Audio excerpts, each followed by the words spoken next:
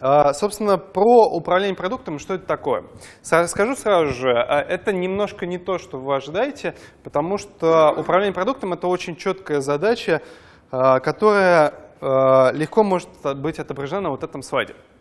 Кто-нибудь может догадаться разницу между розовеньким ой, прямоугольником и зеленым, кроме цвета? На самом деле есть э, абсолютно два, под, два разных подхода к тому, как разрабатывать продукты. Первый — это подход с точки зрения, это чаще всего процессный подход, это подход с точки зрения э, того, чтобы продукт был сделан правильно. То есть э, это больше про то, чтобы мы, все, что мы делаем, было в рамках нужных процессов, оптимизированных, э, э, правильных, э, срегулированных и управляемых. И тот продукт, который мы в итоге сделали, он тоже был правильным. Значит, он был там, построен на правильных технологиях, он был там правильно оттестирован, есть очень четкие процессы по обеспечению качества этого продукта. Это все в розовом в прямоугольнике. А в зеленом это вопрос абсолютно верно, для чего мы делаем этот продукт. То есть то, что мы делаем, а, мы делаем нужно для а, конечного потребителя не нужно. Вот на самом деле а, — это все про зелененький прямоугольник. То есть все, о чем мы будем говорить на протяжении следующих 9 лекций, это не о том, как правильно делать продукт, как правильно выстраивать процессы, а о том, как э, то, что мы делаем, то, какие мы процессы даже выстраиваем, и, собственно, то, как, как, как мы определяем, что такое продукт, а, позволит нам сделать этот продукт успешным. А, позволит нам сделать продукт, который вообще кому-то нужен. И сама цель продукт менеджера это обеспечить успешность и нужность итогового продукта. А, я хочу сразу же разграничить то... Вопрос? Показалось. Я хочу сразу же разграничить то, чем продукт менеджер занимается и чем не занимается, да, потому что управление продуктом достаточно новая сфера, и там то, что вы наговорили, это прекрасная вещь, которая к продукт менеджеру не, не имеет отношения а, кроме вот э, требований и проектирования. В общем, а, где особенно видно отличие от продукт менеджера это в нескольких вещах, которые мы сейчас рассмотрим. Первое — это в заказной разработке. В заказной разработке э, есть очень четкое понимание того, как должно, э, как должно следовать процессы для того, чтобы сделать тот продукт, который нужен заказчику. Так как заказчик — это конкретный человек э, или конкретная организация, с которой должны быть установлены формальные правила, то, как правило, э, требования со стороны заказчика достаточно формально формализуются, формально, ладно, масло масляное, достаточно э, формально я не могу придумать другое слово, но достаточно формально преобразуется в набор, а, в некий документ, который может называться техническое задание, ТЗ. А, вот этот ТЗ — это а, итоговый документ, по которому начинается работа над продуктом. И самое главное, что итоговый продукт правильность или неправильность итогового продукта оценивается очень просто. Это соответствие тому тому набору требований, который был э, отображен в техническом задании. Более того, да, заметьте, несоответствие непосредственно требованиям. Потому что, естественно, когда а, какие-то требования выложены на бумагу и зафиксированы, скорее всего, это не совсем то, что хочет заказчик. И если кто там слышал о рассказах из заказной разработки, очень часто случаи, когда, собственно, заказчик не принимает продукт, а, даже несмотря на то, что все сделано по ТЗ. А, и в этот момент начинаются такие скользкие моменты, скользкие там, возможности по а, регулированию продукта, но чаще всего а, или, ну, в общем, иногда приходится поднимать ТЗ и говорить, что все сделано по ТЗ. Если вам нужны какие-то доработки, соответственно, если те требования, которые мы выдвинули, они не соответствуют тому, что вы получили, собственно, давайте новые ТЗ, новые продукты, мы это все дорабатываем. Вот. Соответственно, человек, который ответственен за то, чтобы сделать правильный продукт, он не является продукт-менеджером. По одной простой причине его задача — это сформулировать вместе с заказчиком требования и перенести на язык разработки. Этот человек называется либо в разных сферах а, бизнес-аналитик, а, часть этой работы на самом деле выполняет СЛЗ в реальности, часть этой работы выполняет архитектор, уже технический архитектор, который непосредственно там, помогает в формировании технического задания. Но больше всего бизнес-аналитик. А, и это особенный набор навыков, про которых мы не будем говорить. Но когда мы говорим про продукт менеджмент очень важно понимать, что вот здесь его нет что вот здесь это а, совершенно другая работа человека. И а, я бы хотел показать маленькое видео. Кто-нибудь из вас, сейчас я пытаюсь пока включить, а, Кто-нибудь из вас смотрел фильм, который называется Office Space? А, как у вас с английским? Потому что я не нашел русский вариант. Нормально? Ну, собственно, у тех, кто нормально... Название на русском «Офисное пространство» было. В общем, предыстория. Я просто хочу, чтобы у вас зафиксировалось очень четкое понимание, э, чем мы точно не будем заниматься. Потому что а, в прошлые разы, когда я рассказывал про продукт менеджмент, мне потребовалось очень долго э, времени для того, чтобы отделиться от вот этого набора того, что мы сейчас рассмотрим. И когда я недавно пересматривал этот фильм, я понял, что вот оно, вот оно, чтобы четко э, показать разницу в, ну, собственно, чем они занимаются, чем мы будем заниматься. А предыстория, собственно, два, э, два консультанта наняты в компанию, в технологическую компанию для того, чтобы разобраться, собственно, что происходит с процессами и, на самом деле для того, чтобы уволить кучу народу. Вот. И они собеседуют человека, который занимается бизнес-анализом. and you bring them down to the software engineers. Yes, yes, that's, that's right. Well, then I just have to ask, why couldn't the customers just take them directly to, to the software people, huh? Well, uh, I'll tell you why. Uh, because engineers are not good at dealing with customers.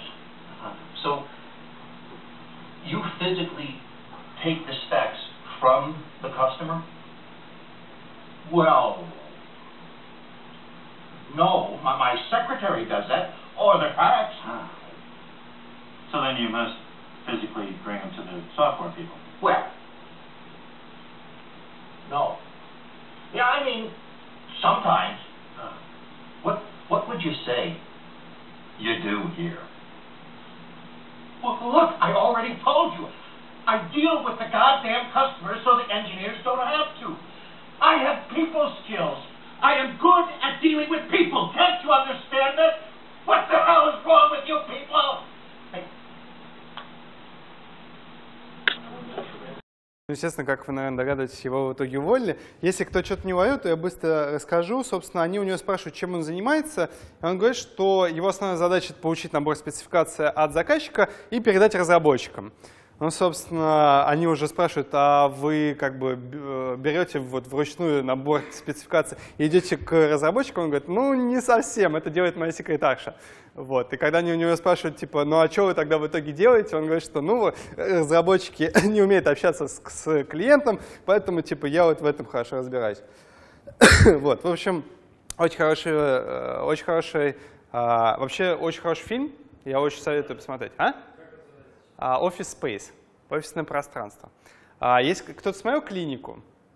Вот, очень клевый актер из клиники, он играет здесь, он здесь играет очень хорошо. Еще там играет Дженнифер Энистон из «Друзей», и она, на удивление, там очень хорошо играет.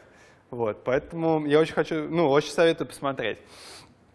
Там очень много узов. Ну, по крайней мере, из 9gag вот этот мем про «It would be great if you», вот этот босс в очках такой подходит и говорит, мем, нет, неизвестно такой, нет?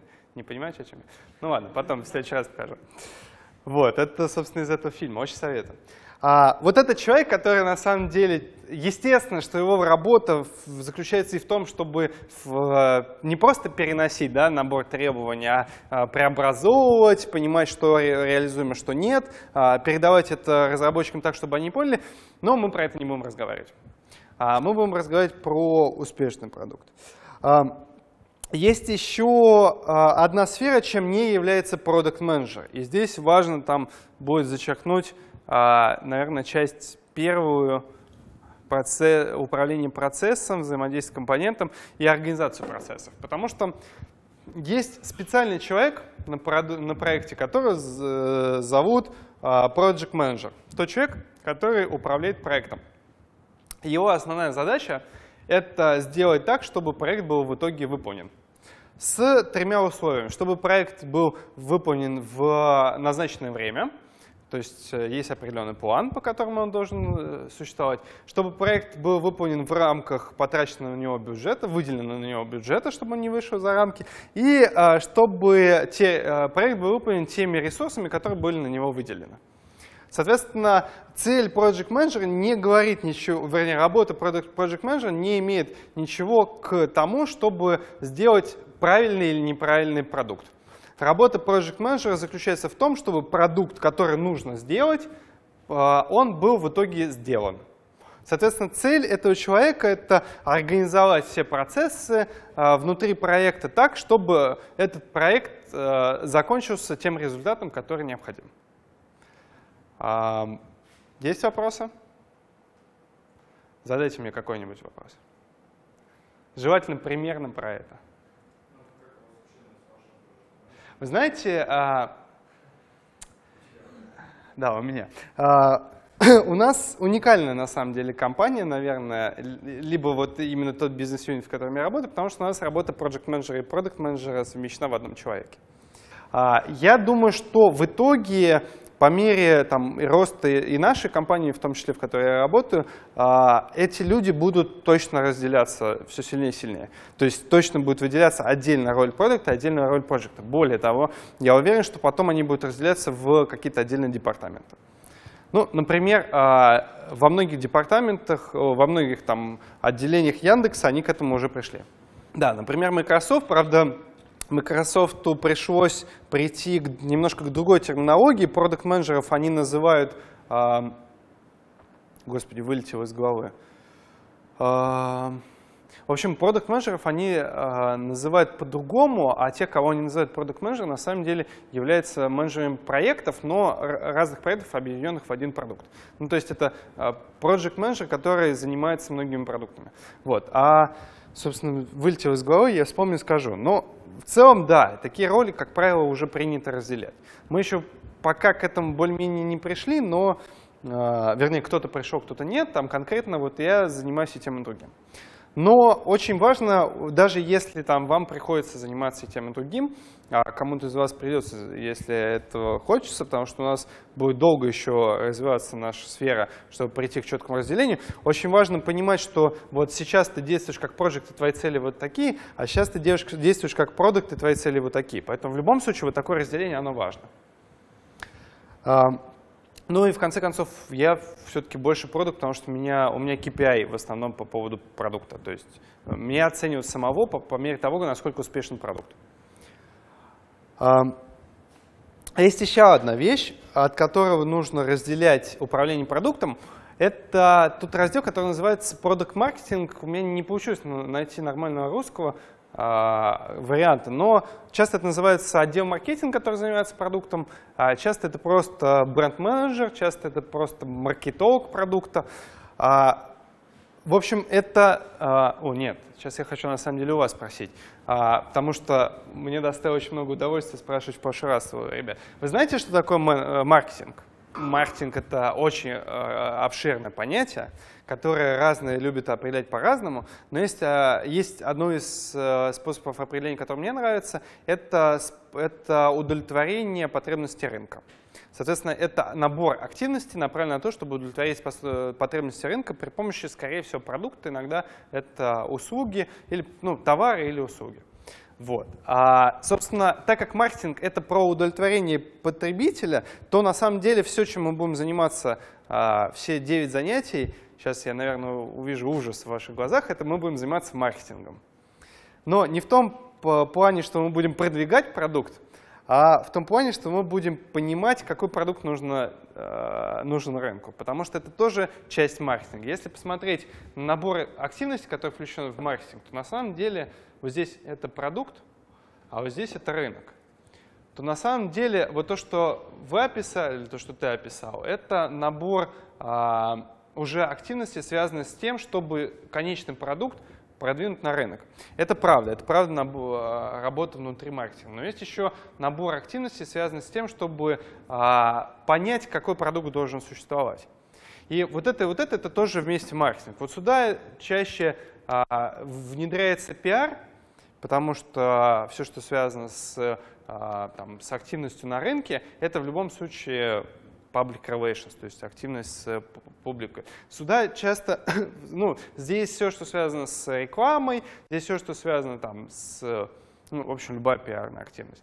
Вот здесь э, больше э, прикладывается человек, который называется продукт менеджер то есть тот человек, который определяет, какой продукт должен быть. Вот мы будем с вами заниматься вот этим куском, то есть мы будем, будем точно заниматься маркетингом, но когда говорят про продукт маркетинг, когда говорят про бренд менеджер, когда говорят про маркетолога, чаще всего говорят про, ну, больше всего про вот эти активности. Вот мы с вами не про это. То есть мы с вами не будем маркетологами, маркетологами, но мы будем заниматься маркетингом. Такой небольшой этот, э, brainfuck, но в итоге мы будем заниматься маркетингом, но не будем маркетологом. А, соответственно, важно разделять от этих людей, важно понимать, чем они занимаются. Мы будем чуть дальше говорить о том, что, э, как взаимодействовать с этими людьми, потому что в любом случае с ними придется взаимодействовать. Как работать, кстати, и одновременно project manager и product manager, в чем работа продукта, когда работает project. Но, как я уже говорил, задача продукта, наверное, многие да, видели вот эту картинку, она достаточно известная.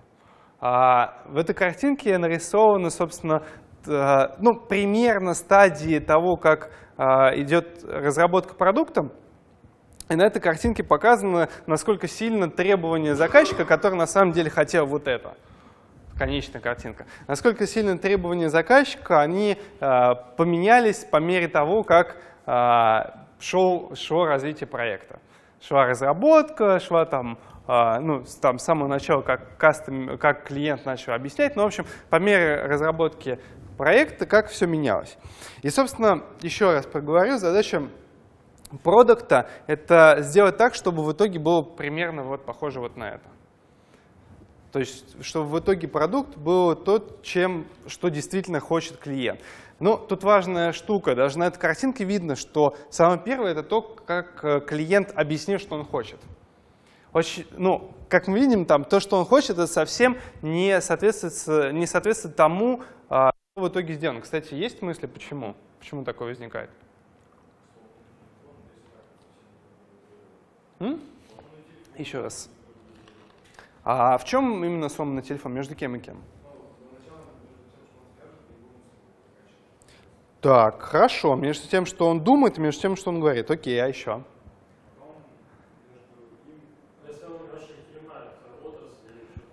Да, абсолютно верно. Как, по-моему, сказал Генри Форд, если бы мы спросили людей, что вы хотите, мы бы сделали не автомобиль, а более там, лошадь с какими-то более быстрыми характеристиками мы начали бы э, создавать. Вот. Да, абсолютно верно. Более того, а, очень многие говорят о том, что работа продукт-менеджера невозможна в, а, ну, в общем, в, в очень инновационной сфере. Ну, грубо говоря, а, если бы Стив Джобс думал бы о клиенте, если бы он делал все, что он бы хотел, то мы бы сейчас там не, не, айфончики играли, а были бы там супер телефоны с кнопочками такие, там, и каждая из кнопочек была сенсорная, привет Артемию Лебедеву. Ну, в общем, что-то такое, что на самом деле мы сейчас даже не представляем, потому что, вернее, что мы тогда даже не представляли. А, но Тут важно понимать, что это на самом деле неправда. То, что он не слушал непосредственно клиента, это не значит, что он его не понимал. То есть то, что там, они не проводили фокус-группы, и у Apple в свое время была очень четкая, сейчас, правда, неизвестно пока, но про тот время точно известно, что у Apple была очень четкая позиция не проводить никаких фокус-групп, никаких исследований, потому что они пытались, и они узнавали о а, требованиях со стороны заказчика, там, их усредненного клиента абсолютно другими способами. Мы про них проговорим, а, но это точно не фокус группы, не исследование. Ага.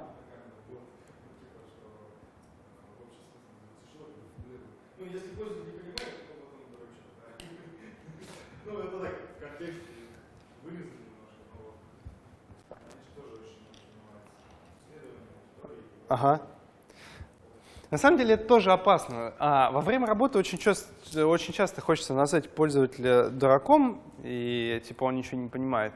А, и, ну, хороший продукт никогда так не сделает, ну, именно из-за того, что слишком большое желание, и часто на самом деле дурак не пользователь, а мы сами. То есть а, пользователи всегда угут, это правда. Пользователи обманывают. Если тебе человек говорит, что я, например, никогда не, удал... я не удалял это письмо, вот постоянно у нас происходит. После говорит, нет, нет, я не заходил в почту, не, не удалял письмо. Мы смотрим логи, естественно, он зашел и удалил, конечно же. Вот, но он никогда тебе не зазнается, что он это делает. Несмотря на то, что они лгут, а, у них все равно, когда у них возникает проблема, значит, что-то произошло не так, как мы ожидаем от пользователя. Да, несмотря на то, что он тупой, значит, мы думаем, что он не такой тупой, как он есть. Или наоборот. Поэтому наша задача, на самом деле, в рамках продукт менеджера все-таки спускаться ну, сейчас, сейчас немножко странно позвучит, но спускаться на уровень пользователя, а, и ну, уже на уровень пользователя нельзя сказать, что он тупой, потому что мы сами становимся пользователями. Поэтому тут такая. М? Да, но когда мы будем говорить дальше о раз, разновидностях пользователях и вообще о целевой аудитории, мы поговорим что, о том, что вообще, что делать, когда мы не пользователи своего продукта. Это самая большая проблема. Собственно, да, если финализировать все а, то, что там по продукту... Почему у меня не работает? А, все, нашел. Если финализировать, да, то, что я уже сказал, продукт менеджер тот человек, который ответственен за то, чтобы а, начать непосредственно а, разработку идеи продукта, то есть оценить какие-то возможности продукта, а, оценить а, с чего, ну, то, он, тот человек, который начинает непосредственно разработку продукта еще до того, как в это включаются непосредственно разработчики. А, то есть разработка — это начало работы над продуктом. Он определяет, какой должен быть продукт. И последний, он участвует в разработке продукта. А давайте, а, в принципе, ну, есть разные способы выделения, есть разные модели выделения стадии разработки вообще продукта. Давайте попробуем выделить вместе какую-нибудь из моделей. Собственно, какая самая первая стадия работы над проектом? Над технологическим. Хорошо, давайте так. Составление технического задания. На самом деле нет, ну ладно. Так, дальше. Следующее. Вот составили у нас техническое задание. Есть набор требований. Что дальше?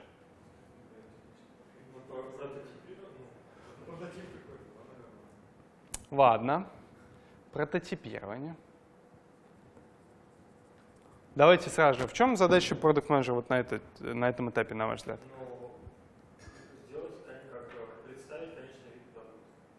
Представить?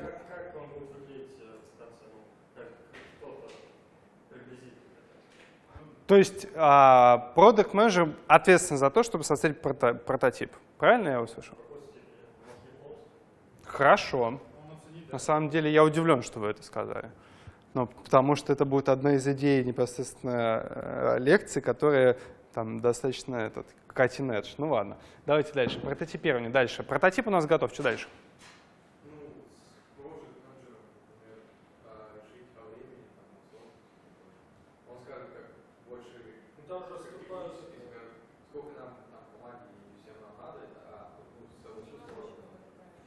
Ну, смотрите, планирование — это а, процесс, который возникает на каждом из этапов. То есть каждый, в, в, во время каждого из, из этих этапов возникает планирование. Поэтому то, что ты говоришь, это правда, но оно применимо вообще вот каждому из того, что мы сейчас напишем. Что после прототипа? Вот прототип у нас готовим. Дальше. А? Этап. Этап как? Разработка. Почему нет? Разработка. Окей, дальше. Давайте сейчас построим, а вернемся. Тестирование.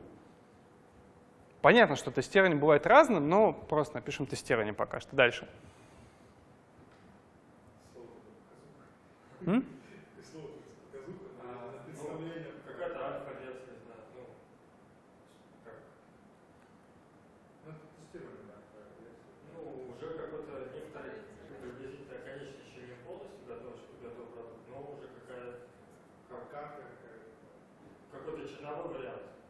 Ну, хорошо, я, я понял вашу идею. Это, это набор итераций в, в, здесь внутри. Согласны? Да, альфа-тест, режим альфа-тестирования, бета-тестирования, баг. А, презентация более широко. Ну, ладно, на самом деле по-разному называется, но это либо внедрение, либо выпуск на рынок. Я просто напишу на рынок. Окей, дальше.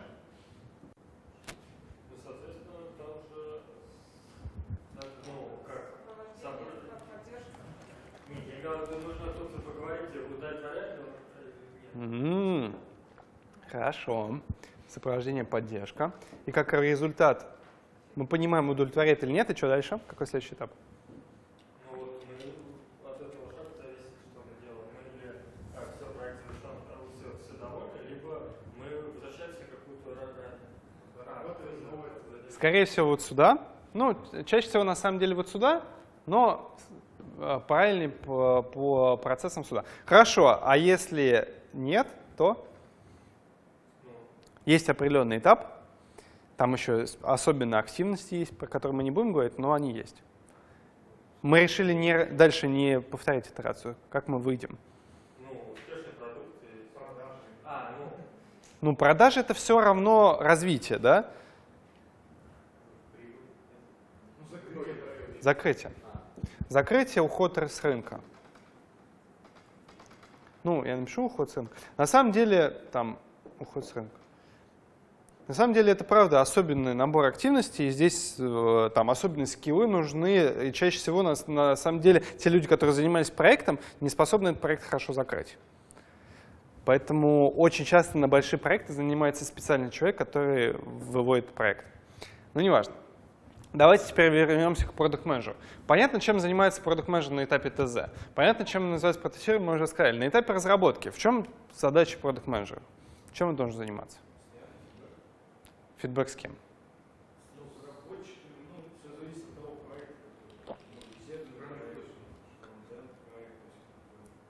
Ну, серверный, проект, серверный проект э, взаимодействия с продукт менеджером намного ниже, естественно, чем с, да, чем с э, этот, э, чем какой-то совокупный либо фронтерный проект, это правда. Единственное, что а, вот опишите вот этот фидбэк. То есть фидбэк в каком виде? Зачем нужен продукт менеджер?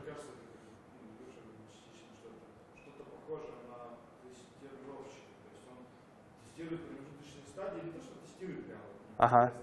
Он ну, оценивает на соответствие ожиданиям. Хорошо. Оценка, оценка на соответствие. Еще. Есть еще очень важная активность, которой занимается продукт менеджер во время разработки.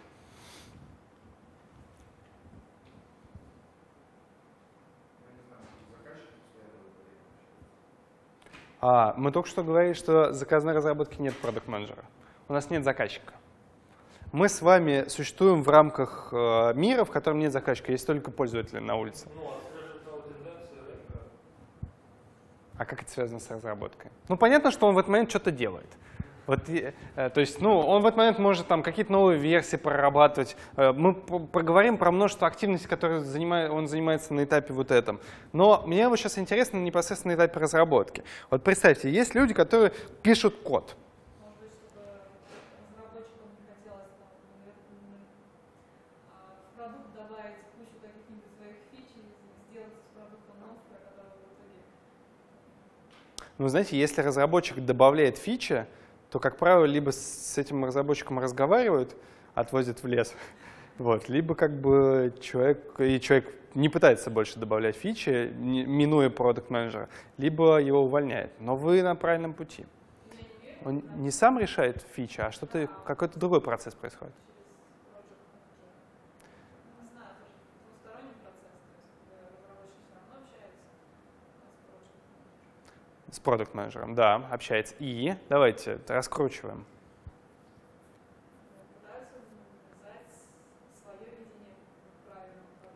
Да, но есть продукт ответственный за то, чтобы определить, что такое продукт. Разработчики могут навязывать все, что угодно, но они не являются ответственными людьми за это. Да, должен. А- ну, его, понятно, что его работа больше должна быть до этого, да. Он должен составить а, то, что должно быть, должно пойти на вход для разработчиков, и по идее в этот момент исчезнуть. Потому что в идеале его самая идеальная работа — это дать разработчикам так, чтобы они поэтому смогли разработать. Ну да, но не всегда как бы настолько все детально он э, как Так, знает, чтобы разработчик прям точно точно так сделал. так. Иногда появляются да, какие-то моменты, в которые, которые ну, где-то нужно что-то изменить немножко. Ну, то есть, как сказать, А- Абсолютно верно. В чем заключается участие продукт менеджера в такой картине. Ну, то есть, ну, он общается, общается с разработчиками, да, понимает, где, может, он что-то не так сделал. А, И, и где-то, может, по-другому надо как-то ре- какое-то решение более гибкое там. Да, абсолютно верно. Первое, это происходит в одну сторону, и это там какое-то, ну, в идеале минимальное изменение продукта, естественно, оно обязательно, потому что там, то, что я описал, это идеальный мир. Да? А, Техлит вместе с продукт менеджером не могут описать сразу же в идеальности продукт. Но есть еще, давайте раскручиваем дальше. А, То есть это первое, это изменение продукта, но есть еще одна вещь, которая не связана с изменением. То есть продукт останется такой же, Разработчик видит ТЗ, у него возникают там какие-то мысли и вопросы. Он идет к продукт менеджеру В чем задача продукт менеджера Ну, не то, что убедить, а больше принять какие-то продуктовые решения. Потому что а, в рамках разработки всегда будут такие вещи, которые не могут быть рассмотрены на этапе раньше, даже на этапе прототипов. Какие-то вещи всплываются. И в эти, в эти моменты возникает необходимость в принятии продуктового решения. То есть, что это будет так или не, и не иначе. Продуктовое решение. Вот. Поэтому а, участие продукт-менеджера на этой стадии на самом деле очень важно. Потому что он тот человек, который поможет э, решать. Если разработчики будут сами решать, а у них нет набора бэкграунда и всей этой информации, к которому мы подошли как продукт менеджер еще до этой стадии. На этапе тестирования. Нужно как бы обеспечить, чтобы не было никаких ошибок. То есть, Кто обеспечит, чтобы в коде не было ошибок? Не, а, я имею в виду про ц- смысл слова тестировать. А цель тест- когда цель продукт менеджера это тестировать. Сейчас вопрос. Так. А, вопрос какой у меня был? В чем заключается деятельность продукт менеджера на стадии тестирования продукта?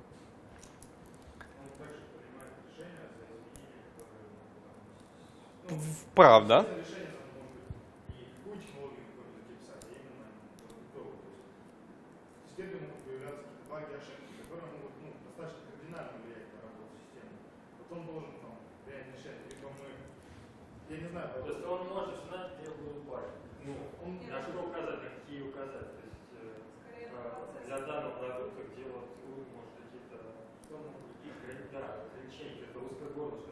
На самом деле это правильно, но ну, то есть тот человек, который составляет тест-кейсы, во всех процессах это разный человек, но тот человек, который ответственен за тестирование, этот человек должен очень хорошо общаться с продукт-менеджером и выжрать, вытащить от него максимально больше информации. А, но это больше, то есть тут явно продукт должен работать, но это больше задача именно процесса тестирования. Но есть еще что-то. Представьте, вот, ну, я не знаю, вы играете там в игры, эти игры очень часто выпускаются сначала там закрытым тестированием, потом открытый бета-тест. Archage у нас сейчас открытый бета-тест выходит. Он должен Вот, а? Но он должен в них участвовать. Зачем? Так. Чтобы проверить сценарий использования. Если он будет не при делах, то его ответственность будет нулевой. Ну, это общие слова сейчас. как бы. Если, ну, э, смотрите, за, за результат в рамках процесса разработки несет огромное количество людей. Да, вот на каждый из этого этап есть человек, который отвечает за результат разработки. Это не продукт менеджер потому что продукт менеджер не знает, что такое разработка в идеале. Да? А Есть человек, который отвечает за качество тестирования. Это другой человек. Есть много человек, который отвечает в целом. Я пытаюсь вы- выжать из вас конкретику, чем... э. Вот, это хорошо. Каждый раз, когда есть какой-то конечный э, продукт, продукт менеджер может на него взглянуть и сказать, ребят, вот то, что вы сделали, это там соответствует тому, что мы с вами зафиксировали, не соответствует. А еще? Я не зря тяну на бета-тестирование. В чем, ну, как, как часто используют бета-тестирование? В чем отличие даже бета-тестирования от альфа, например? Да. Так.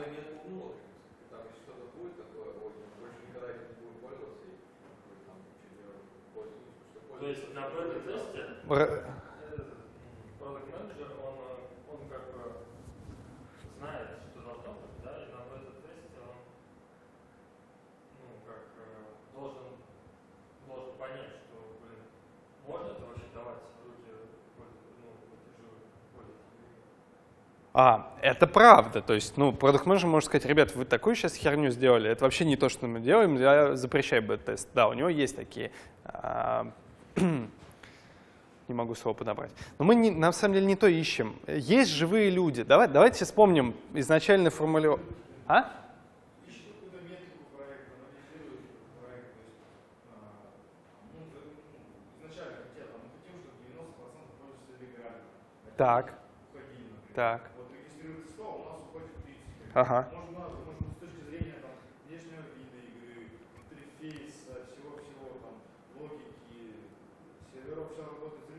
Так. А какая основная метрика работы продукт менеджера Как вы думаете? Вот. А в чем на этапе там бета-тестирования, когда уже появляются живые пользователи, в чем они могут помочь продукт менеджеру решить, успешный продукт или нет? Как? Или, ну, количество пользователей на этапе тестирования еще нет, потому что мы сами контролируем продукт. мы пригласили 500, зарегистрировалось 400. Как бы оценка, оценка. Хорошо, а дальше? Зарегистрировались, а дальше? Да, как? А? Повторно, еще. Ну, их. Их отзывы еще. У тебя было? А, я- я понял. Да, ну и на самом деле, ну, э, это все круто, и еще э, как они себя ведут, естественно, в продукте. То есть, естественно, мы будем смотреть э, не только на отзывы, потому что, да, вспоминаем, что хочет человек и что в итоге, вернее, как он описывает и что он на самом деле хочет. Мы больше будем смотреть на то, как он себя ведет, и вот здесь пригодятся те метрики, о которых ты говорил. То есть, да, мы предъявляем набор метрик, мы позже обсудим, как это, собственно, делается и как вот этот набор предпосылок превращается в набор метрик. Но это, это то, что происходит на этом этапе, а на самом деле небольшой секрет, еще на самом деле происходит еще раньше, даже вот на этом этапе. Но про это мы поговорим. А, внедрение. Собственно, в чем задача продукт менеджера на этом этапе?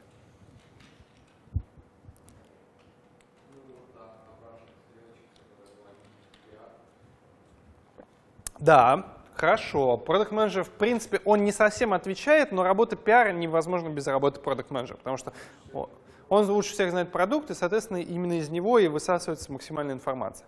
То есть он дает всю информацию для того, чтобы работал бренд-менеджер, маркетолог или пиар-служба. А, а, внедрение, а, сопровождение и поддержка. Что происходит на этом этапе? Вернее, в чем? Много какие-то веяния, тенденции, то есть, куда- А, нет.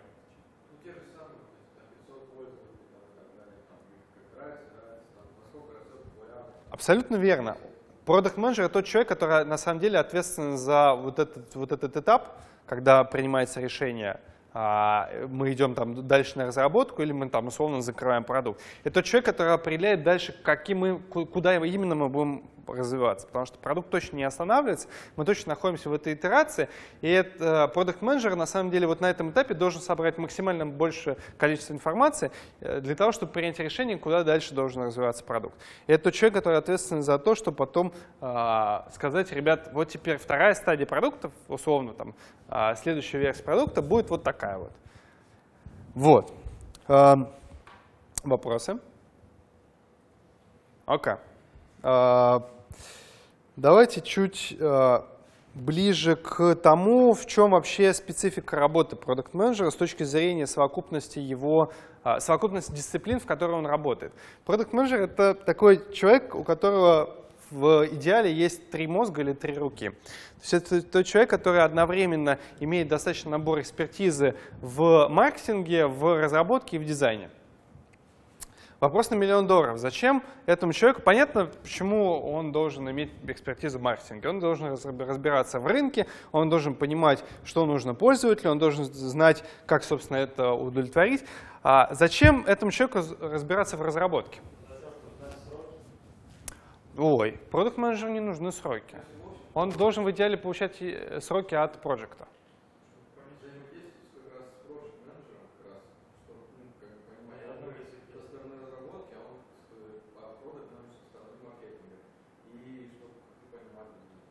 Чтобы, они понимали близко, но еще.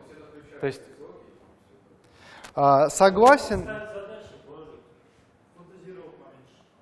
Во, а что такое фантазировать поменьше? Это значит,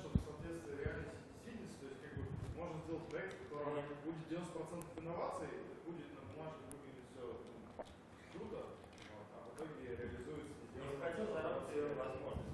Ну да, чтобы он понимал, что могут разработчики, что они не могут.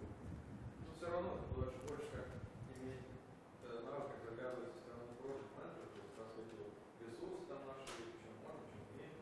там, ну, Да, абсолютно верно. Продукт э, должен разбираться в чем э, вообще непосредственно, что потенциально возможно, что потенциально невозможно. Более того, продукт должен э, стараться быть э, также и на волне развития э, новых технологий, потому что очень часто продукты возникают именно в момент того, как новые возможности, которые нам дают новые технологии, они становятся, э, ну, их, их начинают использовать для того, чтобы удовлетворять, старые проблемы, решать старые проблемы пользователей. И этот человек должен понимать вообще, что здесь происходит. Там, условно, то, что мы теперь способны обрабатывать намного большее количество информации, дает нам возможность сделать абсолютно другие продукты, чем э, мы могли делать раньше. А почему продукт менеджеру важно иметь набор э, скиллов в дизайне? Давайте. Давай вернем. Если продукт менеджер будет как контролик, то как он будет это дальше нравиться пользователю? А, Все продукты такие, очень все с фронтендом, с внешним видом. А что такое дизайн?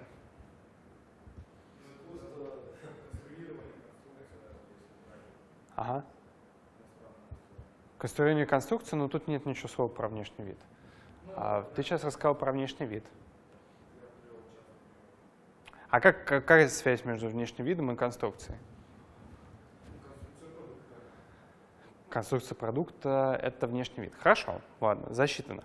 А, но тема не раскрыта. Давайте еще раз. Почему продукт менеджеру важно разбираться в дизайне? Не просто, чтобы выбрать, что больше понравится а, потребителю. Не то, что там выбрать какой цвет, а что-то поглубже. Ну, да? Ну, это есть дизайнеры. Ну, да- да- дал им задачу. Вот нужно, чтобы продукт выполнял такие функции. Вот э, что должно быть э, на входе, вот что продукт должен делать, вот что должно быть на выходе. Дизайнер получает и должен сделать. Тенденции, они же тоже наблюдаются во многих направлениях. Ну, разные компании по-разному пробуют, там, ну, поисковики постоянно экспериментировали с дизайном главной страницы. Так. Вот. Эта тенденция, она не только носит характер эстетический, это тенденция еще самого по себе восприятия там, людьми продукта. Скорость работы с продуктом, удобство. Да, то есть Ну, как мы, если понимаем, что дизайн это юзабилити, все это, да, это как бы это- О, хорошее, правильное слово сейчас прозвучало. Так-то так. Да, да.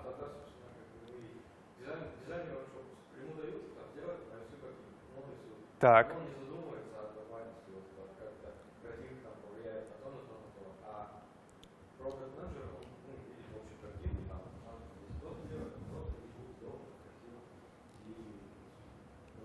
А что, что удобство для продукта с точки зрения продукт-менеджера?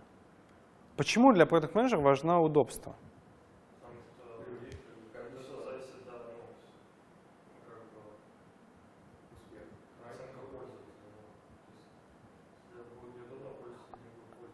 А почему они не будут пользоваться, если не надо?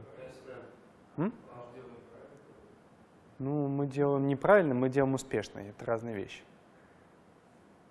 Ну, ну, вернее, нет. Если переводить ту фразу на английский, да, прошу прощения. Если переводить ту фразу на английский, то мы делаем правильный продукт, да. Ну, да. Возвращаемся. Почему удобство это важно? Юзабилити. Он не сможет с помощью него, если ну, с помощью этого проекта достигнуть своей цели. То есть он там Да, проект да. интерфейс, это отправил все дорожки и так далее. И финальный результат. Вот Если он не сможет как, ну, грубо говоря, по дорожке пройти, там, то-то, то-то, то-то, то он как бы такой, как сложно, все непонятно, ну, и просто там, и- С- Абсолютно верно. Способ предо- предоставления удовлетворения потребностей пользователя также зависит от того, как он его, э, эту потребность удовлетворит. Ну, то есть мы можем один и тот же функционал представить разными способами, но в одном случае пользователь сможет удовлетворить потребность, воспользоваться этим, в другом просто тупо не сможет. Там те же самые, не знаю, ножницы можно было сделать в дизайне таком, что за них не- невозможно было бы нормальному человеку схватиться и отрезать что-то. Несмотря на то, что они потенциально могут резать и э, решать проблемы пользователя, а, ими пользоваться невозможно, и поэтому они не удовлетворяют, и в итоге продукт-менеджеры сак. Еще про интересное... А, да, нехорошо получилось при переводе в, этот, в кино. Ну, в общем, еще пара э, примеров, вернее, пару, вернее, сфер, в рамках которых существует продукт менеджер Мы сейчас поговорили, э, как продукт менеджер существует в рамках разных стадий разработки продукта, начиная с самого начала, но на самом деле почти с самого начала. Тут еще есть набор активностей, которые происходят.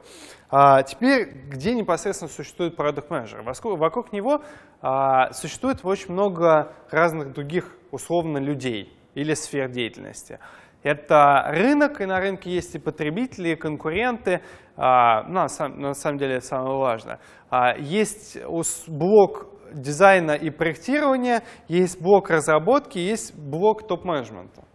А, понятно, почему ну, мы проговорили с вами, да, как взаимодействует продукт менеджер с разработчиками, то есть то, что происходит на этапе а, разработки, на самом деле тестирования. И как он взаимодействует с дизайнерами и проектировщиками, тоже примерно понятно, потому что это человек, которому важно то, как это будет в итоге представляться. И уже на этом этапе, на самом деле, в прототипировании мы сюда должны как-то добавить э, этапы дизайна. На этом этапе э, продукт должен взаимодействовать с теми людьми, которые определяют внешнее представление и то, ну, юзабилити и то, как будет выглядеть продукт. Зачем продукт-менеджеру взаимодействие с топ-менеджментом? В чем суть вот этого взаимодействия? Да, во-первых, это человек, который отчитывается. Во-вторых, это человек, который понимает стратегические цели компании, соответственно, в зависимости от этого ведет в продукт в ту или иную а, сторону. Ну и есть еще одна история. Кто принимает решение в компаниях о том, что мы начинаем разработку продукта? Вот конечное решение за кем стоит. М? Ну, вы должны ответить, давайте играть по правилам. Еще и вслух. Um, да, уникально. Да, топ-менеджмент, собственно, это человек, ну, это тот набор людей, это тот, та система, которая принимает конечное решение о том, э, во-первых, какой продукт мы делаем, несмотря на то, что продукт менеджер описывает, э, конечное решение всегда вот за этими ребятами.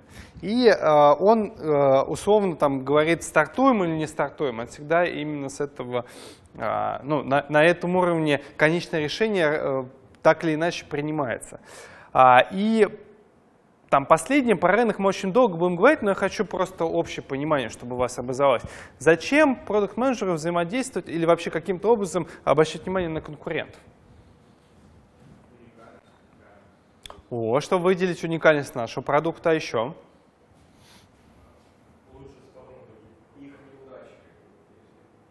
Лучшая сторона, чтобы что-то своровать. Прекрасно. А их неудачи, чтобы понять уникальность. Еще.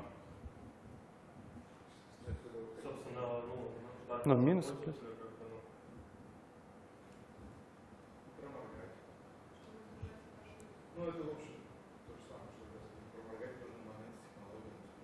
Ну, в динамике. Абсолютно верно. Вы сейчас сказали про плюс и минус, а теперь надо, надо все еще в динамику перенести. То есть нужно следить за развитием конкурентов, нужно следить за их динамикой, нужно понимать, кстати, и их планов тоже. И нужно там, успешно встроиться, встроить свои планы в план конкурентов. Вот, естественно. А, прекрасно.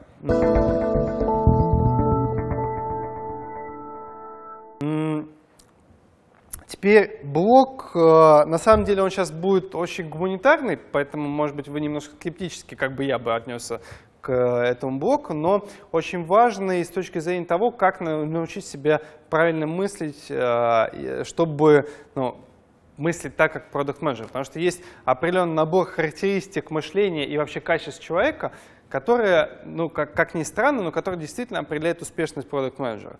А, Есть там Правда, качественные исследования пока не проводились, но есть определенные замечания, э, я расскажу там чуть подробнее о них позже, но есть определенные замечания, как, э, какими качествами обладает тот человек, который, как правило, успешный продукт-менеджер. И выделяет набор этих качеств, которые мы с вами и проговорим. А, собственно, суть в том, чтобы эти качества у себя ощутить, взращивать при работе продукт-менеджером и развивать. А, первое качество, и на мой взгляд, это вообще самое главное, это эмпатия. Кто-нибудь знает, что такое эмпатия? Да, эмпатия — это сложное слово, которое просто описывает умение сопереживать другим людям. Действительно, тот человек, который умеет максимально, и это я замечал очень часто, те люди, которые умеют максимально ближе поставить себя, максимально точнее поставить себя на роль целевой, целевой аудитории, потому что часто Продукт менеджер не является целевой аудиторией. Да, мы разрабатываем продукты часто не для тех людей, которые... Ну, мы разрабатываем не для себя. То есть мы в итоге не будем непосредственно самой целевой аудиторией. То есть мы можем попасть в пользователя, но мы не будем непосредственно целевой аудиторией. Иногда бывает, конечно, по-другому, это прекрасно.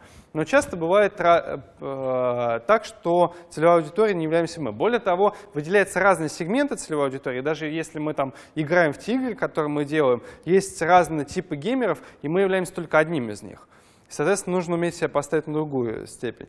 А, на самом деле, на мой взгляд, а, и то, что там многие замечали, это действительно очень важное качество для продукт-менеджера. И это то, что может себе развивать, но главное найти себе базис. А базис следующий.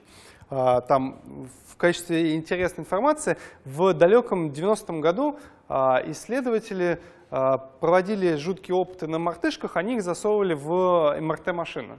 А, для того, чтобы следить за активностью мозга, за разным, ну, в общем, за разными, господи, как это называется, участками мозга, да, пусть будет участками.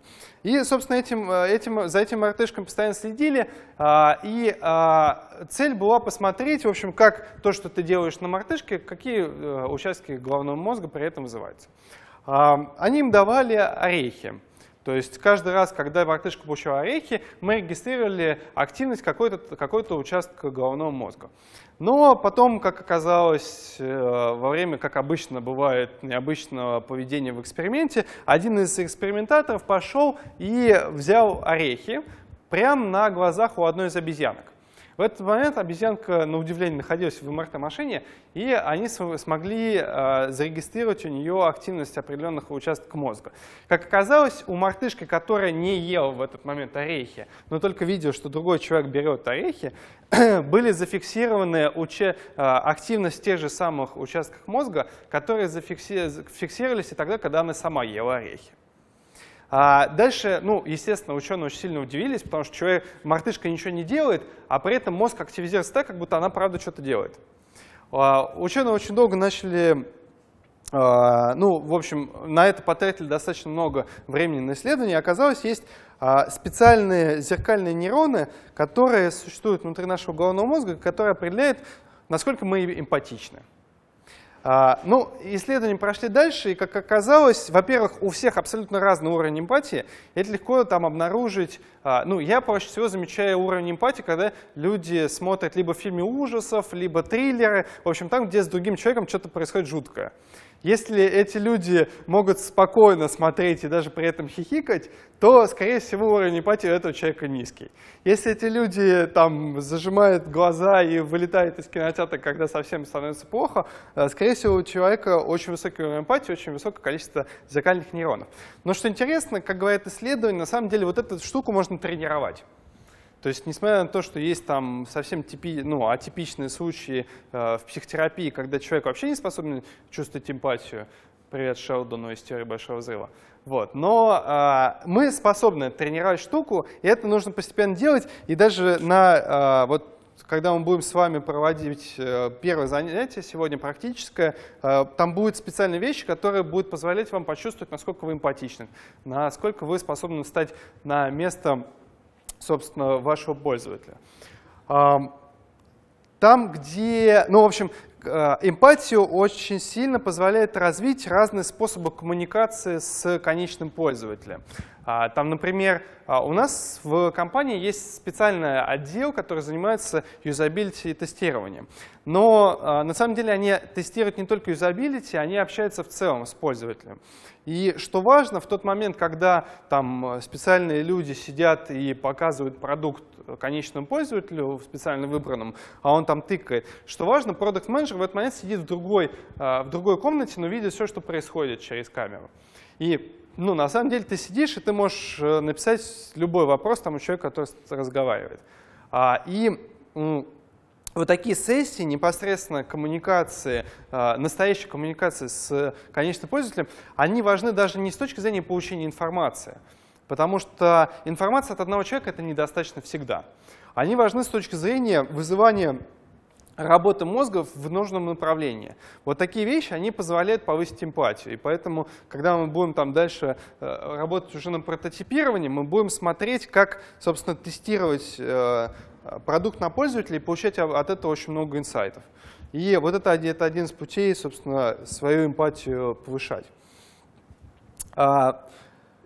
Есть, ну, это на самом деле достаточно очевидная вещь. Э, человек, который называется продукт менеджером он должен обладать э, определенным уровнем интеллекта. Это человек, который э, должен не только чувствовать человека, он должен и подняться над человеком чуть выше, понять, как удовлетворить его потребности, как систематизировать его потребности. И систематизации очень ключев... систематизация очень ключевая активность для такого человека, потому что если он будет просто чувствовать человека, это будет, э, ну, это будет, это будет, вернее, э, то такой человек никогда не сможет предложить что-то. Да, э, если вы там, наблюдали иногда над тем, как э, какие-нибудь две девушки разговаривают друг с другом, они начинают делиться там, своими сопереживаниями, и это такой поток, который вообще невозможно конструктивно воспринимать. Но что самое интересное, в ответ тоже конструктива нету, и поэтому они просто обмениваются друг с другом и уходят довольные, хотя никакого решения нету. Вот. А, вот что касается конструктивно перенять тот поток, а от пользователя вы будете получать огромный поток э, своих эмоций, там, опасений, страхов и проблем, э, конструктивно перенять его в ту систему, которая позволит этот поток э, упорядочить и удовлетворить, это как раз позволяет вот эта штука, которая называется системный взгляд. Также, естественно, человеку, который называет себя продукт менеджером важен э, большой э, и серьезный скилл в э, коммуникации. Почему? Потому что очень часто приходится убеждать и э, там приходится пояснять разработчикам, почему э, продукт должен выглядеть так или иначе. Приходится презентовать и объяснять руководству, почему принято такое продуктовое решение, а не а другое. Очень часто приходится э, там, убеждать каких-то там смежных людей там, из дизайна, почему ты как продукт-менеджер считаешь, что должно быть сделано именно вот так, а не иначе. И здесь на самом деле очень серьезная проблема а, именно на этапе там, а, транслирования своего продуктового решения, потому что есть два способа. Есть первый способ сказать, ребят, я продукт-менеджер, и это мое продуктовое решение. Но у этого способа есть один очень большой недостаток. Когда люди не понимают, почему сделано то или другое решение, они э, очень часто отказываются, ну, в общем, они не то что начинают бунтовать, но может возникнуть ситуация, при которой человек уже не будет твое решение исполнять так, как ты хочешь. То есть, ну, в этот момент отрубаются абсолютно любые творческие навыки. Да, там, вспомним армию. Ты никогда не должен, э, ты никогда не должен задавать вопросы по поводу того приказа, который ты получил. Есть, это сделано специально ровно для того, чтобы снизить любые творческие потуги. А, если же нам нужно, чтобы тот человек, который занимается продуктом, он не просто принимает твои решения, а он позволял на уровне, на своем уровне также мыслить э, творчески, то э, просто своим там, продуктовым решением его забивать просто нельзя. А, но кроме этого нужно и понимать разные модели восприятия у людей. И это то, о чем мы, это то, о чем мы говорили чуть раньше, люди, как правило, а, у людей есть определенный барьер между своими мыслями и то, что они говорят. На самом деле у них есть еще и барьер по поводу того, что они слышат и то, что они воспринимают. И каждый человек работает через такую шумовую прослойку между собой и другими людьми. Соответственно, задача продукт менеджера в том, как он транслирует а, свои продуктовые решения в том числе, а также в том, как он воспринимает других людей, это вот понять вот эту прослойку, которая существует осознать, что люди не договаривают, что люди понимают так, а не иначе, какие, какая у нас разница в модели восприятия, и, собственно, через эту прослойку пробиваться или ее использовать. А вот при использовании этой манипуляции а, я специально в этом курсе не буду ничего говорить про манипуляции, потому что не хочу в, именно в управлении продуктом про это говорить. Но есть определенный набор тактик, которая позволяет, собственно, проходить этапы убеждения и этапы а, управления моделью восприятия так, чтобы, собственно, твои решения по тому, как должен выглядеть продукт, и, а также и манипуляции в ответ а, конечного пользователя, они успешно выполнялись. Ну, там, из примеров, вот, например, э, Альфа-банк выпустил продукт, если кто-то сейчас следит, э, выпустил продукт по значит, накапливанию денег э, при активности пользователя. Чем слышали такое? Вот. вот это очень хороший пример манипуляции, как сделать так, чтобы пользователи пользовались продуктом, а на самом деле повышали а, использование вклада с достаточно низким процентным, процентом и при этом а, задействовать ту целевую аудиторию, которая не пользуются такими банковскими продуктами. То есть это целевая аудитория, которая не откладывает, как правило, деньги.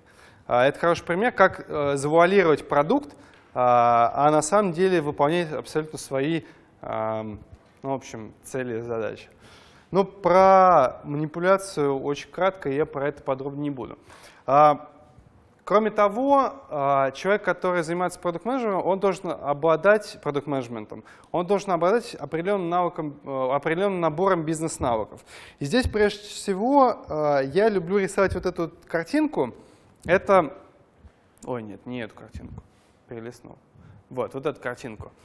Это, собственно, э, способ отображения, самый простой, на мой взгляд, способ отображения того, как должен мыслить продукт-менеджер в рамках, э, своей, ну, а в рамках восприятия компании как, ну, в общем, в рамках восприятия своего продукта, вернее, как источник привлечения прибыли для компании.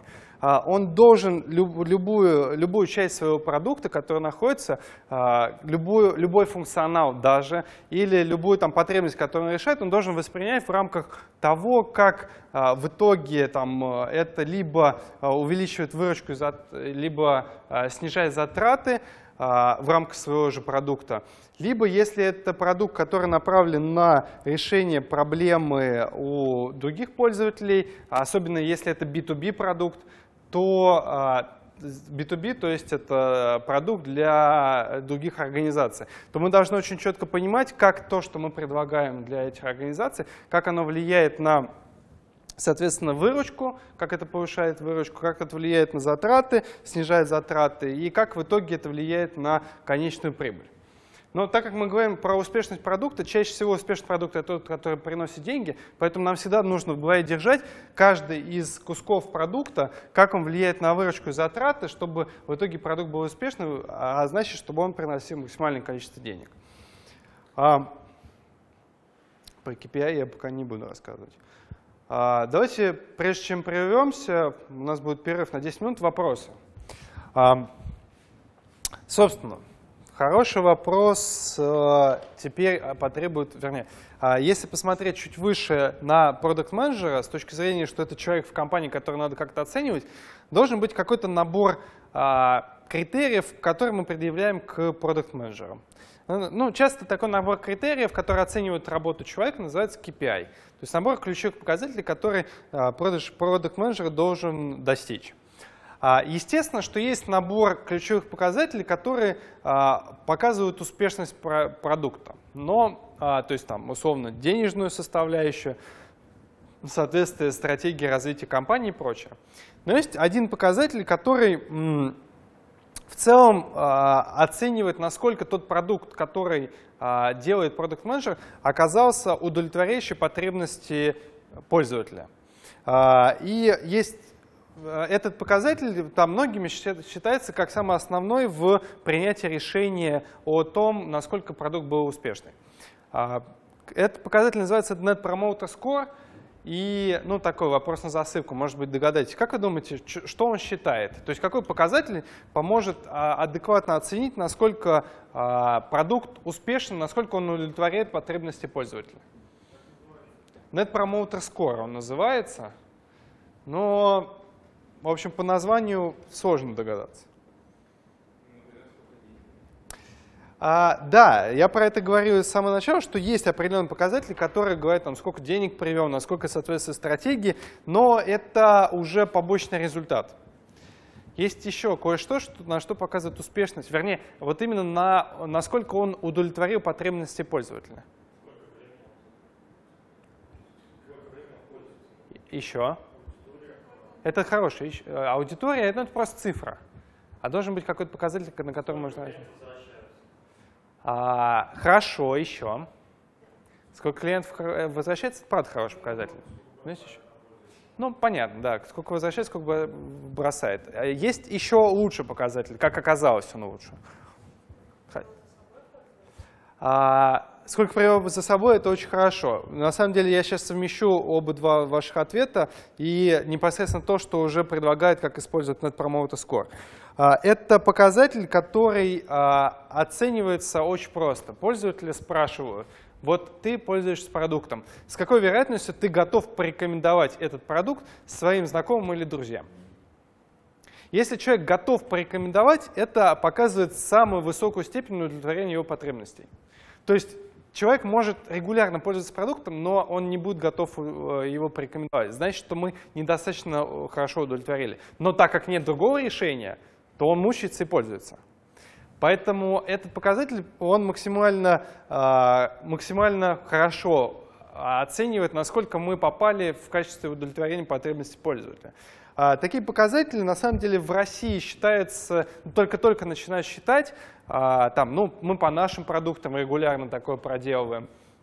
А, Есть там компании, которые свои KPI строят на основе Net Promoter Score. Например, там, если знаете, компания Enter. Компания Enter в целом направлена на то, чтобы повышать счастье своих сотрудников и, собственно, клиентов. Вот. Они работают на, очень сильно на этот показатель. Но если смотреть на американский рынок, где давно уже считают где есть много статистики, вот, например, за последний год лидеры на разных рынках э, были вот эти компании. То есть на рынке insurance и banking, э, страхование и банковская сфера, а вышла USS, USAA. Это компания, которая близко, ну, по military организация, которая выдает кредиты и работает вообще в финансовой сфере. А, ну, из известных, э, это, собственно, супермаркет. Из известных, кстати, в лэптопе вышла, вышла компания Apple. Неудивительно, так же, как и в серии iPad. А, странно, серия iPad. В общем, я думаю, что здесь что-то типа планшета должно быть, по идее. Вот, э, в серии э, этих, а, это самые высокие, собственно, самые высокие показатели там среди авиакомпаний у Southwest Airlines. В общем, эта презентация будет, если интересно, можно посмотреть даже более подробную статистику, вот это те компании, которые на большее количество рынка показали самый большой NPS. Соответственно, этот NPS мы, во-первых, с вами научимся считать, то есть как у пользователя спросить, в какой момент его нужно спрашивать, и научимся анализировать изменения этого показателя, что повлияло на, а, там, на его рост или на его падение, и как, собственно, работать над тем, чтобы а, он постоянно рос. То есть, скорее всего, а, на вопрос, с какой вероятностью вы порекомендуете, человек как- ответит э, достаточно правдиво, особенно если взять много ответов. Вот. Но я могу, могу представить, что в каких-то обстоятельствах вопрос можно сформулировать так, что он будет отвечать либо, особенно если, а, вот мы, например, а, попали на грабли, а, мы по результатам опроса давали плюшку пользователю. И когда мы спрашивали один и тот же вопрос с плюшкой и без, как оказалось, когда мы даем плюшку пользователю, он оценивает нас чуть-чуть лучше. Вот, и здесь тоже нужно хорошо, ну, потому что есть психологическое такое восприятие, что если тебе пообещали что-то хорошее, то ты должен для этого как-то постараться. Хотя мы просто первым там э, 100 пообещали, это плюшку. Вот. Но а, зная то, что тебе в итоге могут что-то достаться, ты стараешься быть лучше к, э, ну, лучше отвечать на вопросы. Да, NPS формируется ба- банально статистическим опросом, абсолютно верно. По-другому узнать мнение пользователя не получится. То есть мы можем смотреть за действием, и это те метрики, мы будем формулировать метрики уже в рамках каждого продукта по отдельности, которые будут говорить о том, насколько он успешен, насколько те предпосылки, которые мы предъявляем, они а, ну, успешно а, в итоге ну, либо опровергается, либо оказывается правдой, я забыл глагол. Вот. Но а, это все в рамках одного продукта, есть только один показатель, который вообще на все продукты можно размножить, и это он. Вот. Все остальные показатели, они будут зависеть от продукта, и мы тоже будем этим заниматься. То есть самая первая стадия, с которой а, начинается его работа, а, и там, а, посмотрим вот эту стадию подготовки э, там, идеи продукта, э, оценка идеи, потом разработка там, условного прототипа, разработка условного набора технических требований. Мы посмотрим, что именно будет. И уже потом будем двигаться дальше разработку. В общем, весь наш курс он будет построен вот как раз по той схеме, о которой мы разговаривали. Большую часть мы рассмотрим еще до непосредственно разработки. А, как вы думаете, с чего начинается продукт? Я прям, я специально этот, э, такую картинку сюда оставлю. А, очень жалко. Но я, я, как правило, люди всегда и говорят с идеей. На самом деле нет. Да. А на самом деле продукт начинается не с идеи, а еще раньше. Идея — это результат. Самое изначальное, с чего начинается продукт, это с непосредственной проблемы. Вот здесь сейчас давайте сразу же разграничим. У нас мы говорили в рамках проблем уже внутри продукта, это э, те трудности, у которых возникают у пользователя по мере того, как он удовлетворяет свои потребности. А мы сейчас будем говорить о более глобальной проблеме. То есть это то, что мешает пользователю. То, что раздражает его и мешает его жить. На самом деле все хорошие идеи возникают в тот момент, когда есть какой-то пользователь, который очень сильно мешает что-то и который чувствует, как это можно потенциально изменить. Вот эта фраза э, одного из фантастов на самом деле, не такой уж известная, но фраза стала известной, про то, что будущее уже наступило. Она как раз про то, есть те люди, которые сильнее чувствуют определенную проблему и которые видят пути ее решения. Но, что самое главное, всегда, всегда любой продукт начинается с проблемы. Вторая стадия – это проблема, она не бывает в вакууме. Просто набор трудностей, с которым сталкивается человек. Проблема возникает у конкретных персоналей. А, именно здесь возникает целевая аудитория. Целевая аудитория – это те люди, у которых наиболее ярче, наиболее критично выражены эти проблемы, которые страдают от того, что эта проблема либо плохо решена, либо до сих пор вообще не решена. То есть эта э, целевая аудитория – это там, те люди, которые максимально сильно жаждут появления продукта, который бы решил их проблему. И вот здесь как раз и, как у меня здесь коротко, вот здесь как раз и начинается, вот здесь и появляется идея непосредственно продукта. То есть на стыке э, целевой аудитории и проблемы, которые находятся у, э, у нее, возникает идея, с которой мы дальше начинаем работать. Вот это, это все были абстрактные слова. На самом деле в реальности выделить целевую аудиторию продукта а, и выделить проблему – это достаточно сложное занятие. Мы сейчас выберем один продукт и попробуем описать целевую аудиторию и проблемы вместе, а потом это сделаем в командах. Это на самом деле будет одно из последних, что мы за сегодня успеем сделать. А, давайте на примере. А, знаете приложение Instagram? У нас есть ну, в общем, у нас есть продукт, и нам нужно понять, какую проблему решает. Проблему. Да? Не то, что, э, ну, в общем, не... Сейчас я сформулирую. А, в, Инстаграм для того, чтобы выложить фоточку, это не проблема. Давайте думать в категории того, какую проблему решает пользователь Инстаграм. Ну, хорошо, давайте, ладно. Невозможность поделиться. Невозможность поделиться ну, наверное, Почему э, Инстаграм... Да, вот, давайте поделиться массово, потому что это отличие от того, что я про... невозможно поделиться, мы можем ответить, что есть e-mail. Можно отправить. Невозможно поделиться массово. Еще. Какие проблемы пользователь решает?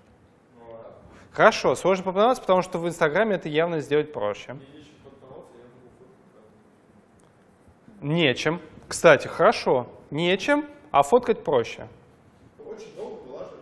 Очень долго выкладывать фотку. Это, про, ну, это действительно так. То есть, когда появился Инстаграм, это был очень простой способ сфоткать, и сразу все увидели. Долго выкладывать фотку.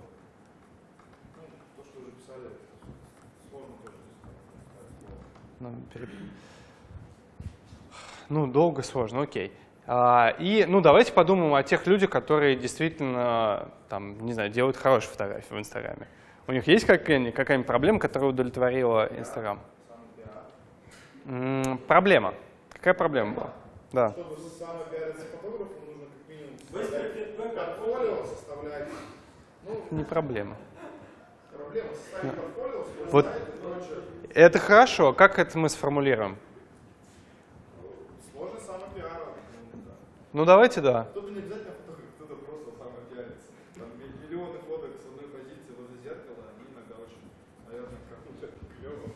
Сложность самопиара, да. Ну, давайте там посмотрим с точки зрения... Сейчас мы, когда придем на целевую аудиторию, будет проще, на самом деле, потому что эти проблемы, они разделяются. Но сложность самопиара, да, здесь и для одной целевой аудитории, и для другой. То есть из-за того, что тебе проще сделать фотку, тебе не нужно там делать себе портфолио, у тебя есть возможность быстро начать самопиариться. Давайте попробуем выделить целевую аудиторию. То есть это те люди, у которых выделены наши проблемы, присутствуют наиболее ярче. Это не целевая аудитория. Молодое поколение не все пользуется Инстаграмом, не у всех есть. А, давайте специфицируем. Не все же девушки пользуются. Есть, э, ну вы близко. Девушки, ну какая у них есть особенность?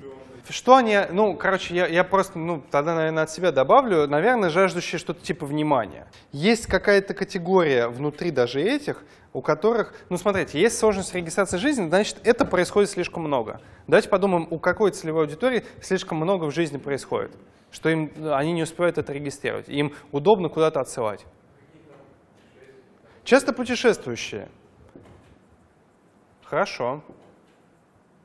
Это нормально, что мы ее достаточно широко написали. Это тоже целевая аудитория. Часто путешествующие. Когда мы будем рисовать портрет целевой аудитории, мы уже часто путешествующие будем разделять. Тусовщики. Вы знаете, это так кажется. Если мы сейчас начнем разбивать, то на самом деле нет. Хорошо, они постоянно находятся в раз- Ну, это скорее часто путешествие. Это часто путешествующие. Давайте, ам, у кого есть потребность а, фотографа? Фотографы. Тут больше сами, самопиар, кстати. Кстати, давайте подумаем, кому из всех людей а, хуже всего в этой проблеме. То, что долго скачивать фотку, выкладывать ее. Э, Ну, путешествие. Кстати, да, в, в в Инстаграме, в отличие от Фейсбука, намного больше аудитория более молодых людей. Ровно потому, что это люди, у которых есть только мобильный телефон. У них нет доступа, ну, у них есть доступ к родительскому компьютеру, но он не регулярен. А Отсутствие, отсутствие компьютера. Ну, э, ну, неправильно. Целевая аудитория — это люди, у которых отсутствует компьютер. Или отсутствует, или низкие навыки. Низкий навык владения. Выкладывать фотку — это нужно подсоединить, скачать файлики. Что надо? Вы делаете абсолютно то же самое. То есть это работа в командах. Вы выбираете продукт, описываете целевую аудиторию, описываете проблему. Но что мне нужно вот здесь в целевой аудитории в проблему? Мне нужно три, максимум три самые серьезные проблемы, которые решает. А? Не, самые три... Не, давайте все-таки Давайте все-таки одну. Вот мне нужно, чтобы вы выбрали у вашего продукта, я э, потом расшарю эту э, презентацию. Нет, продукт вы можете поменять. Даже я не, рекомендую продукт поменять. Соответственно, вы выбираете одну самую серьезную проблему. То есть вот представьте, что вы также нагенерили, как сейчас, и вы выбрали из этого только самое важное. Вы выбираете три целевых э, сегмента целевой аудитории, то есть три самых серьезных сегмента, у которых возникает проблема. Вот. Ну а потом еще описывайте три пользовательские трудности и пути решения. То есть то, что мы сделали первое упражнение, показывайте мне в выбранном вашем продукте, а, как вы встали на позицию пользователя, прошлись по основным а, пользовательским путям и, собственно, нашли какие-то трудности. Я специально здесь именно трудности, которые мы назвали это проблемами, но здесь мы проблемы называем именно... Проблему смотрим, как она решена уже в продукте. А, нет, вы смотрите, есть проблема, это проблема пользователя. А потом отдельно вы смотрите, вот как мы делали, вы смотрите на путь внутри продукта и смотрите, с какими трудностями сталкивается пользователь. Давайте не будем называть это проблемами, просто трудности. И, соответственно, предлагайте пути решения, в чем вы достаточно хороши. Вот, и, соответственно, через неделю вы с этим... Нет, давайте, э, так как у нас на следующей неделе очень много работы, давайте вы мне это все присылаете э, до, соответственно, сейчас у нас какой день недели? До пятницы. До четверга. а, До четверга 00.00 я постараюсь за четверг проверить, и, соответственно, в пятницу я уже скажу.